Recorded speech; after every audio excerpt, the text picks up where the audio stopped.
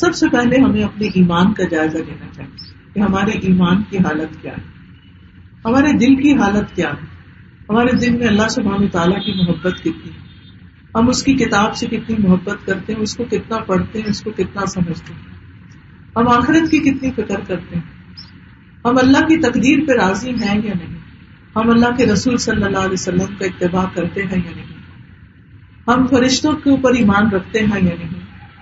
हम फरिश्ते जो हमारे दाएँ बाएँ बैठे हुए उनके लिखने के बारे में फ़िक्र करते हैं कि नहीं, कि वो क्या लिख रहे हैं, हमारा क्या अमालनामा तैयार कर रहे हैं। तो हमें सबसे पहले अपने ईमान का जायजा लेने की ज़रूरत है। और फिर अल्लाह की ऐसी इताब, अल्लाह की ऐसी बंदगी की जिसमें कोई शिरक न हो। खालिस उसी के लिए सारा कुछ हो, उसी के फरमा बरदार बन जाए। रसूल अल्लाह सल्लल्लाहु अलैहि वसल्लम ने फरमाया, मोमिन फरमा बरदार ऊँट की तरह होता है। कि उसे जहाँ भी ले जाया जाए, वो चल पड़ता है। यानी अल्लाह के रास्ते में नेकी का काम कोई भी करने का मौका हो, वो चल पड़ता है। वो रुकता नहीं है।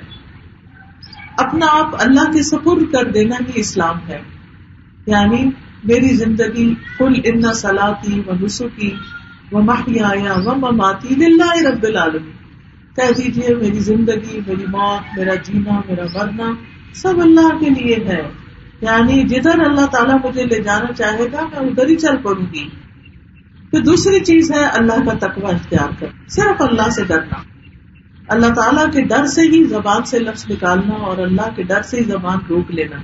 अल्लाह के डर से किसी को कुछ देना और उसके डर और मोहब्बत में ही कुछ रोक लेना। तो अल्लाह सुबहान तला के साथ सच्चा होना। इमाम इबन कैयम कहते हैं कि बंदे के लिए कोई चीज़ इससे ज़्यादा मुफीद नहीं। कि वो तमाम मामला में अपने रब से सच्चाई का मामला इख्तियार करे। और जो अपने तमाम मामला में अल्लाह के साथ सच्चाई का मामला इख्तियार करता है तो अल्लाह उसके लिए बहुत कुछ करता है। बनस्बत इसके जो वो दूसरों के लिए करता है। यानी अल्लाह दूसरों से ज़्यादा उसको अता करता है। सुबह अल्लाह कितनी बड़ी खुशखबरी है इस बात में कि जो अल्लाह के साथ सच्चा होता है, अल्लाह की रजा को देखता है। तो फिर अल्लाह ताला उसके साथ उससे भी ज़्यादा बेहतर मामला करता है। दूसरा काम जो है, वो सिरात मुस्तकीम पर रहना है। कुरान मजीद में आता है, वह अन्नहादा सिराती मुस्तकीम वला तब अन सभी नहीं वालिकुम वस्सा कुम और ये कि बेशक यही मेरा रास्ता है, सीधा रास्ता। बस इस पर चलो और दूसरे रास्तों पर न चलो कि वो तुम्हें उसके रास्ते से जुदा कर दे। यानी अल्लाह के रास्ते से इधर उधर नहीं होना। अल्लाह के दीन के रास्ते पर ही चलते चले जाना है। अगर जरा भी इधर उधर हुए तो वो कहीं से कई शतान भटका के ले जाएँगे। बहुत से लोग होते हैं, वो कुरान पढ़ते हैं, समझते हैं, अल्लाह के रास्ते पर आ जाते हैं, फिर वो छोड़ देते हैं। नतीजा क्या होता है? भी भटक जाते हैं इधर उधर हो जाते हैं, और कामों और और मशगलों में लग जाते हैं। तो ना वो दीन के, ना दुनिया के। लोग समझते हैं कि दीन पड़े हुए हैं, हालाँकि वो पूरी तरह दुनिया की मोहब्बत में खोए हुए होते हैं। तो हमें यकसुई के साथ अल्लाह के रस्ते को इख्तियार करना है और जो कुछ हमें कुरान बताता है, उसके मुताबिक चलते रहना है।